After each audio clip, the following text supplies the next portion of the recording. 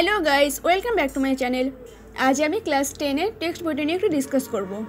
So without wasting time let's get started তো lesson টুটা আজকে শুরু করছি একটু দেখো, কারণ এর আগের দিন লেসন ওয়ানটা কমপ্লিট হয়ে গিয়েছিল। লেসন টুটাতে দেখো কী আছে? ফেবেল লিখেছেন কে? র্যালফ ওয়ার্ল্ডো ইমার্সন এখনও র্যালফ ওয়ার্ল্ডো ইমার্সন সম্পর্কে কিছু লেখা আছে, এগুলো একটু দেখবে। তো চলে আসো পোয়েমটাতে কী আছে দেখো? The mountain and the squirrel মানে পর্বত এবং কাঠবিড়ালি। Had a quarrel. একটা বিবাদ করেছিল। And the former called the latter little prig এবং প্রথমজন পরের জনকে বলেছিল, ছোট্ট আত্মপরায়ণ ব্যক্তি। বান রিপ্লাইড বান উত্তর দিয়েছিল you are doubtless very big সন্দেহহীনভাবে তুমি অনেক বড়। But all sorts of things and weather must be taken in together কিন্তু সব ধরনের বস্তু এবং আবহাওয়াকে অবশ্যই একসঙ্গে বিবেচনা করতে হবে। To make up a year একটা বছর তৈরি করতে অ্যান্ড আ এবং একটা গোলক তৈরি করতে। And I think it no disgrace to occupy my place এবং আমি এটাকে কোনো অপমানের মনে করি না, নিজের স্থান দখল করে থাকাকে। If I am not so large as you যদি আমি তোমার মতো এত বড় না হই you are not so small as I তুমিও আমার মতো এত ছোটো নাও। And you are sorry and not half so spry এবং অর্ধেক প্রাণবন্তও নাও।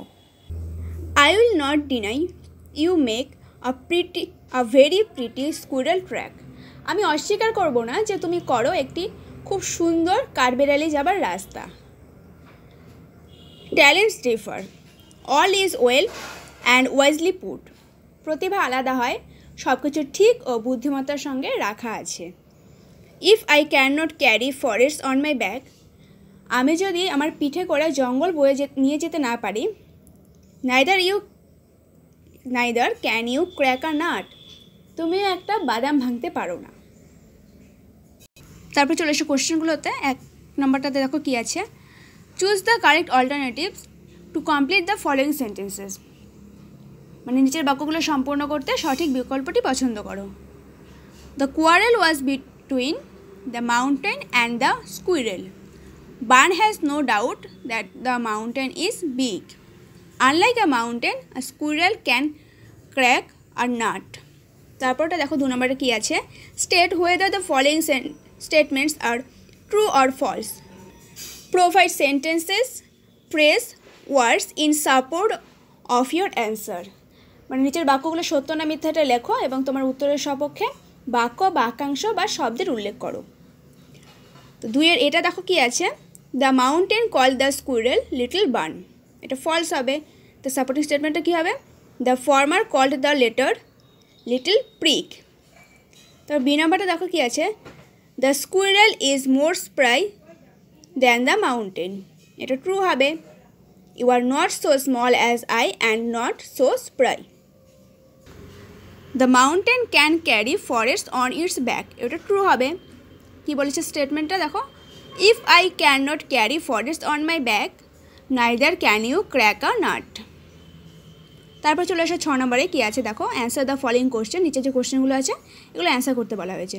Who had a quarrel with the squirrel মানে কার্বেরালিটির কার সঙ্গে ঝগড়া হয়েছিল? The mountain had a quarrel with the squirrel মানে পর্বতটির কার্বেরালিটির সঙ্গে ঝগড়া হয়েছিল। What is not a disgrace to the squirrel কোনটি কাঠবিড়ালির কাছে অসম্মানজনক নয়? To the squirrel to occupy his place in the sphere is not a disgrace কাঠবিড়ালির কাছে পৃথিবীতে একটি স্থান দখল করে থাকা অসম্মানজনক নয়। তারপর সিনেমাটা দেখো। What is it that the squirrel does not deny কাঠবিড়ালিটি কি অস্বীকার করে না? The squirrel does not deny that the mountain makes a very pretty squirrel track কাঠবিড়ালিটি কখনোই অস্বীকার করে না যে পর্বতটি কাঠবিড়ালি যাবার জন্য একটা সুন্দর পথ তৈরি করেছে। তারপর চলে আসে গ্রামারের ইউজটাতে মানে হলো গ্রামারের ব্যবহার। তো দেখো সাথে কী আছে? Replace the underline words with suitable phrasal verbs from the list given below change the form of verbs where necessary there is one extra phrasal verb in the list মানে নিচের প্রদত্ত তালিকা থেকে উপযুক্ত ফ্রেজাল ভার্ব খুঁজে নিয়ে, তলায় যে দাগ দেওয়া ভার্বগুলো আছে, এগুলোর ফ্রেজাল ভার্বটা লিখতে হবে। আর প্রয়োজনে তার ক্রিয়ার রূপের পরিবর্তনও করতে পারো। রূপের পরিবর্তন মানে যদি প্রেজেন্ট টেন্স হয় প্রেজেন্ট টেন্সে লিখতে হয় পাস্ট টেন্স হলে পাস্ট টেন্সে লিখতে হবে। আর তালিকায় অতিরিক্ত একটি ফ্রেজাল ভার্ব দেওয়া আছে। তালিকাটা কোনটা? যে এখানে যে লিস্টটা দেওয়া আছে লিস্টটা থেকে লিখতে হবে। তো প্রথমে এটা দেখো আছে মেট মেট হয়ে যাবে কে ম্যাক্রোস এখানে যেহেতু মিটের ফ্রেজাল ভার্বটা হবে কাম অ্যাক্রোস আর এখানে মেট আছে, এটা পাস্ট টেন্সে আছে, তাই এখানেও কামের জায়গায় হয়ে যাবে কেম তারপরটা আছে টলারেট পুট আপ উইথ এটা প্রেজেন্ট টেন্সে আছে, এখানেও প্রেজেন্ট টেন্সেই হলো। তারপরটা আছে, দেখো রিজেক্টেড এটা পাস্ট টেন্সে আছে হয়ে যাবে টার্নড ডাউন কারণ রিজেক্ট রিজেক্টের ফ্রেজাল ভার্ব হবে হলো টার্ন ডাউন যেহেতু এখানে রিজেক্টেড আছে, তাই এখানে হয়ে যাবে টার্নড ডাউন তারপরে আট নম্বরটাতে দেখো আছে কি change the voice of the following sentences এখানে যে সেন্টেন্সগুলো আছে সেন্টেন্সগুলোর ভয়েস চেঞ্জ করতে বলা হয়েছে। তো ফার্স্ট এটা দেখো কি আছে লক দ্য ডোর এটার ভয়েস চেঞ্জটা হয়ে যাবে, দেখো। Let the door be locked তারপরে বি নাম্বারটা দেখো কী আছে? Asim knows the solution to this problem এটা হয়ে যাবে the solution to this problem is known by Asim তারপরে সি নাম্বারটা দেখো আছে I had written a letter এটা ফ্রেজার সরি এটা ভয়েস চেঞ্জটা হয়ে যাবে a letter had been written by me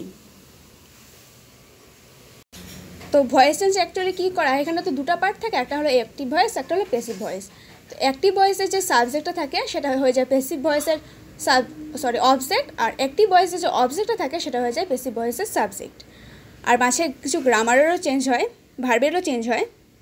মানে অ্যাক্টিভ ভয়েসে যে ভার্বটা থাকে, সেটা পেসিভ ভয়েসে গিয়ে সেই অ্যাকুরেট ভার্বটা নাও বসতে পারে। কারণ পেসিভ ভয়েসের যে সাবজেক্টটা থাকবে, সেই সাবজেক্ট ওয়াইজ ভার্বটা বসবে। তো তোমরা যদি ভয়েস চেঞ্জটা ডিটেলে জানতে চাও, তা আমাকে নিশ্চয়ই কমেন্ট করবে। আমি একটা ডিটেল ভিডিও আপলোড করে দেবো। তারপরে চলে আসো রাইটিং অ্যাক্টিভিটিতে কী আছে দেখো? নয় নম্বরে write a letter to your friend advising her or him to visit the public library in her or his locality as frequently as possible মানে কি? একটা চিঠি লিখতে হবে একশোটা শব্দের মধ্যে তোমার বন্ধুকে বা বান্ধবীকে। তার এলাকায় যে গ্রন্থাগার আছে, সরকারি গ্রন্থাগার, সেখানে ঘন ঘন যাওয়ার, কেন যাবে সেখানে ঘন ঘন, তার সম্বন্ধে কিছু উপদেশ দিতে হবে সেই চিঠিটাতে। তো দেখো এই লেটারটা যেটা লিখতে বলা হয়েছে, এটা তো পার্সোনাল লেটার আর পার্সোনাল লেটারে কি হয়? ডান সাইডে মানে সবার উপরে ডান সাইডে হয় নিজের ঠিকানা। তো আমি লিখে দিয়েছি, তোমরা তোমাদের মতো ঠিকানা লিখবে, তারপর ডেট দেবে। তারপরে চলে আসো ডিয়ার তোমার নিজের নিজের ফ্রেন্ডের নাম লিখবে। তারপরে দেখো I am glad to receive your letter you wanted to know about the importance of visiting public library. Here I am telling you about this. Visiting public library keeps you in touch with different books. You have lots of options to choose books. When you read books, you become acquainted with various words, themes, writers, historical incidents, and so on. It increases your general knowledge. You may also build up relation with other good readers.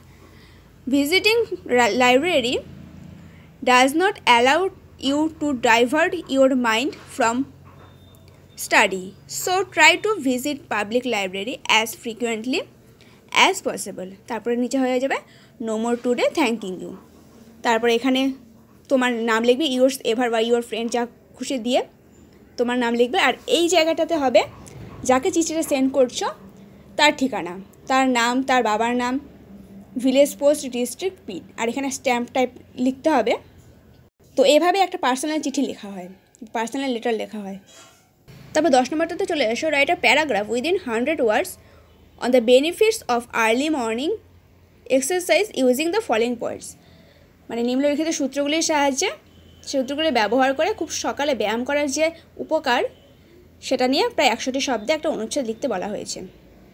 তো দেখো আমি এখানে একটা লিখে নিয়েছি benefits of early morning exercises মানে খুব সকালে ব্যায়ামের উপকারিতা। Physical exercise is immensely helpful to human beings মানে ব্যায়াম মানুষের কাছে প্রচণ্ড পরিমাণে সাহায্যকারী। When it is done in early morning the benefit of course increases যখন এটি খুব সকালে করা হয়, এর অবশ্যই উপকার বাড়ে। First it brings one in contact with fresh air প্রথমত, এটি একজনকে তাজা বাতাসের সংস্পর্শে আনে। This fresh air energises one এই তাজা বাতাস একজনকে মানসিকভাবে তাজা করে। Secondly the exercise keeps one physically fit দ্বিতীয়ত, এই ব্যায়ামগুলি একজনকে শারীরিকভাবে সুস্থ রাখে। This physical fitness is good for health এই ব্যায়ামগুলি শারীরিক সুস্থতার পক্ষে খুব ভালো। Thirdly the fresh air and physical fitness keep one active throughout the day তৃতীয়ত, তাজা বাতাস ও শারীরিক সুস্থতা একজনকে সারাদিন ধরে সক্রিয় রাখে।